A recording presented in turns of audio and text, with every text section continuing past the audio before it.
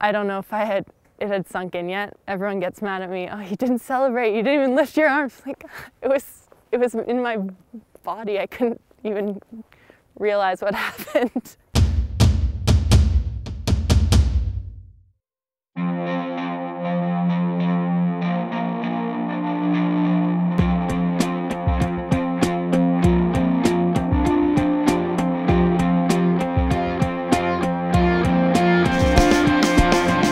I did a lot of figure skating as well as skiing at the same time. In Whistler when we were little, both my parents were part-time ski instructors, so I pretty much made the decision and was like, ah, I'm gonna ski.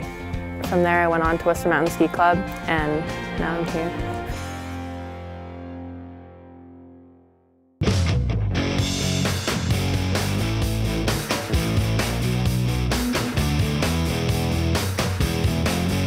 The first year, I was really learning the basics, like how to adapt to features. I really improved a lot, but still now I'm learning.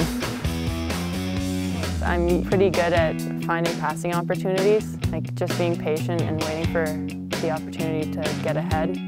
In Blue Mountain when I was leading, just before I came over the last jump, I kind of realized there's no one around me. I'm gonna win. I know at X Games that really helped start things off because I crashed when I was winning. Went into blue, like I'm gonna win this. I'm really pushing for it. So then winning at Blue Mountain really brought up my confidence even more. So I really knew I was where I was meant to be and brought it for the rest of the season.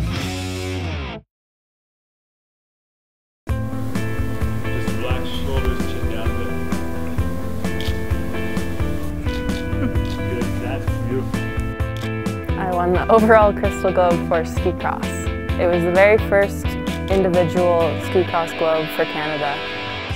Definitely all the work I went through, all the hard races, few struggles, but made it all worth it. Just to be on top of the world, like I am on top of the world, it's just, you can't get any better than that.